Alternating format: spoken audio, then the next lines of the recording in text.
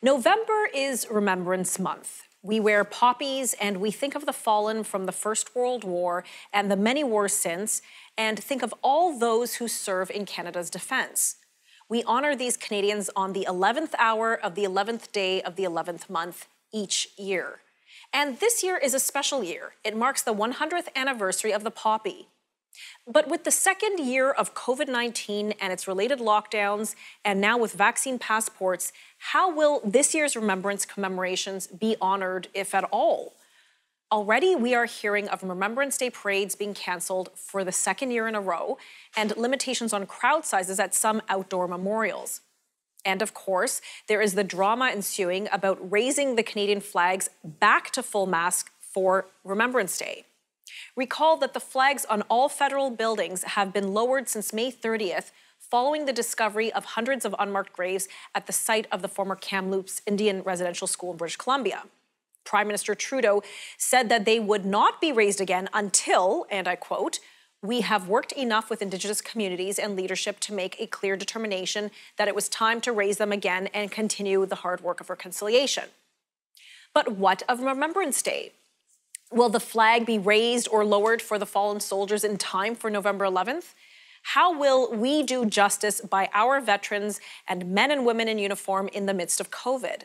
Remember, thousands upon thousands of Canadians died for our freedom, and their sacrifice cannot go unacknowledged.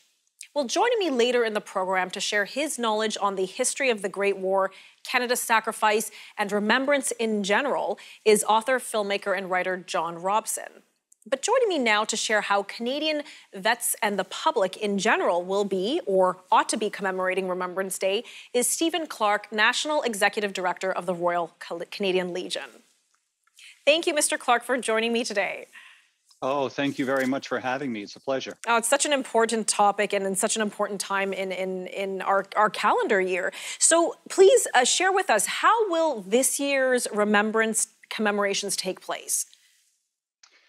We are hoping for ceremonies to be more reminiscent of what they were like pre pandemic. Now, as you had mentioned, we still have to observe whatever restrictions or limitations that are in place locally, but we are hoping that it will allow for an expanded ceremony. So, for example, if I can take the national ceremony downtown, uh, the Legion organizes that ceremony, and we had planned for a very restricted ceremony. And in fact, we're encouraging people to watch from home as opposed to being on site. And this is the, the reason, this is the when you said downtown, I mean downtown Ottawa or the National Memorial.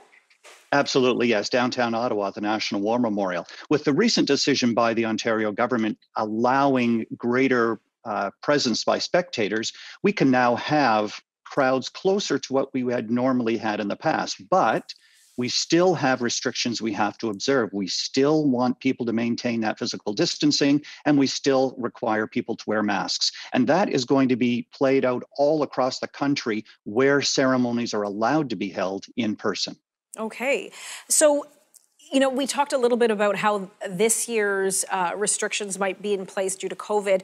Maybe you can share with uh, Canadians how last year's, even even last year's and this year's events in general, have been impacted by the, the COVID restrictions. How the, the commemorations, for example, I mentioned in my opener, you know, parades don't seem to be happening as often. Will there be a parade somewhere in the country? What have you heard?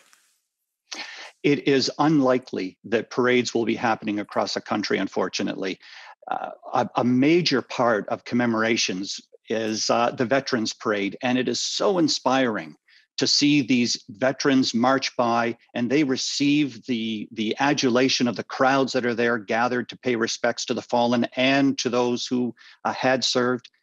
We're not able to do that this year.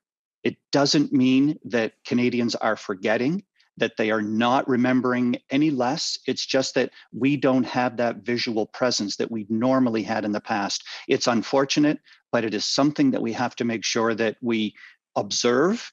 Uh, and we anticipate that in 2022, things will be different. Now, I was so happy to see just a few days ago, I, I went to the local hardware store and I saw two represent- representatives of the Legion, of the Canadian Legion, selling poppies. We didn't have this last year. So I was so excited. I ran to my car to get some money and, and I bought a few.